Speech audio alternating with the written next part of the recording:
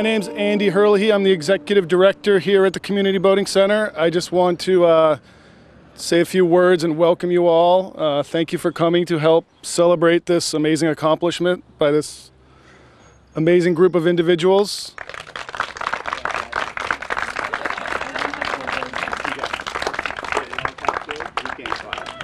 It's actually really amazing. So this actually started off as just sheets of plywood, random pieces of wood that they were able to bring together and actually create this magnificent boat here.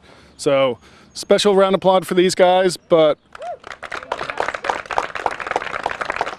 you know, I just want to I want to quickly thank Richard Feeney. He's our education director here. It's really his brainchild, this whole program. So nice job, Richard.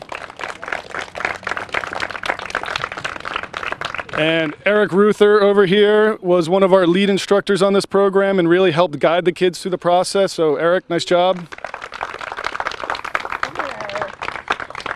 But I'm going to hand the mic over now to Richard and let him say a few words. So, nice job, guys.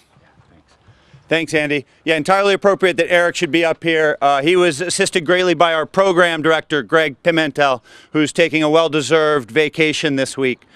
Um, so I really don't have much to say, but I want to frame up that what we're doing is we're going to launch this boat today. It's never been in the water, it's never been leak tested. Um, and we're going to christen the boat. We're going to give it the name. And we're going to uh, ask the gods of the sea, Poseidon and Neptune, and any others that may be out there for um, safe passage because the sea is so big and our boat is so small that we need all the help we can get.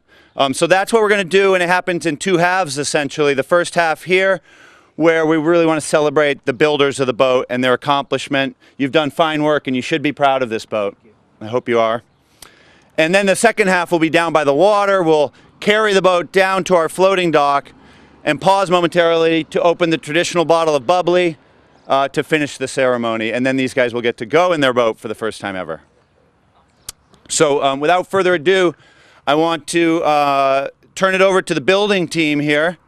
And I understand you've uh, prepared a couple of remarks, uh, but I don't know exactly what's going to happen now. So congratulations. All right. So I wrote a speech.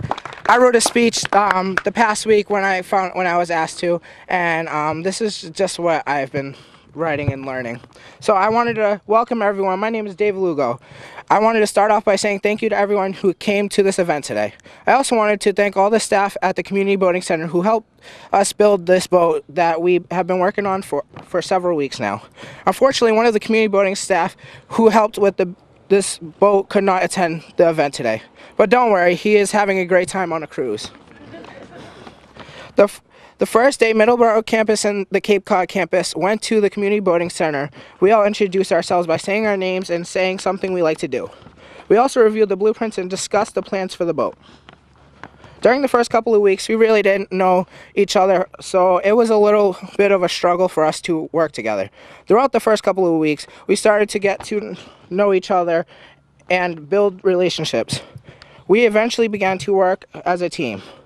When it came down to pl- planing the wood, we all had a little bit of a struggle knowing what to do. But as a team, we asked how to plane properly. Then we planed the wood to where it was supposed to be. Once we finished building the boat, we had to sand and prime the boat. Once we did that, we had to choose the colors we were going to paint the boat. All right, and then this is what I learned. Over the course of my time at the Community Boating Center, I learned how to use many different power tools. For example, I learned how to use a jigsaw and cut many different angles. I learned the proper way of sanding things with an electrical sander. During the process of learning how to use a power sander, I also learned the difference between each type of sandpaper. For example, P80 means there is 80 pieces of sand per square inch. I am very grateful that I was offered the chance to work on this project. I'm glad I, I was able to meet the staff at the Community Boating Center. I would love to thank the staff for being great role models to me and to the students who helped build the boat. Finally, I would like to thank the staff for teaching the students valuable lessons.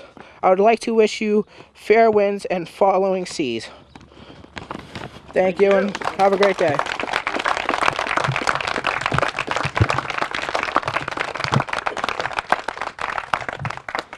Anyone else like to say anything? Can we just introduce the building team? Generosity Ortiz. Maciona Houselander. David Lugo. Alec Ardita. Keenez Roberts, I'm more of a tourist. Julian Turner. Sean Rivera. Thank you guys for being here. Um, and I'll I'll just finish by saying what uh, Andy said that we did start from scratch with this boat. We scarfed together plywood, and you will see some other ones down on the dock. Um, and you'll notice differences. These all come out different. It's it's the real thrill of them is what we call real world problem solving. Is all sorts of unexpected things happen, and we we we move forward. And, and in my opinion, this is the best looking one we've ever done. So I'm really it was really fun working with you guys, and nice job, Eric, and all all of you. Thank you.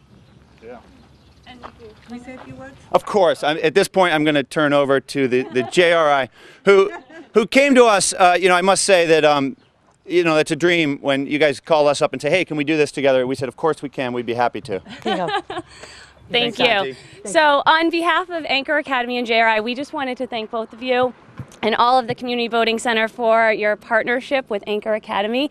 It's been an amazing experience for our students, and um, I don't think it's something we could have done on our own without you. The hands on learning that you've been able to tie into our vocational program with Brad Hibbert is something that we look forward to continuing uh, for many years to come. So, thank you. Thanks, Angie. And I just, you stole my expression about um, the sea is so wide and my boat is so small, which I heard on Children's Day, June 1st, I don't know when, probably 1980. Um, uh, in DC, when that was the theme of the day, is the sea is so wide and my boat is so small. And that's how I feel like our kids go through many of their experiences. And it seems like such a good fortune that we were able to um, come together with you folks who take advantage of this wonderful water that we have all around us in this area. That this is what our kids need to be learning and doing for their hands-on experiences um, and picking up a skill that they can use, whether it's recreationally or in workmanship or in their um, builders' lives. Whatever they go on to do, they can make use of what they learn here through teamwork, through the expression, through the experiences that the kids have already outlined, and through the work with you folks. So it's been tremendous for us, and we thank you sincerely for the efforts on our kids' behalf. And on behalf of Anchor Academy, we present you with this gift for you. So these are some of the pictures that we put together of you working with our students. So thank you. That's good. Thanks so. Thank you. Okay. Um, so I understand we're naming this boat Anchor One today. Why don't you um, take it down to the water and let's do this? Okay,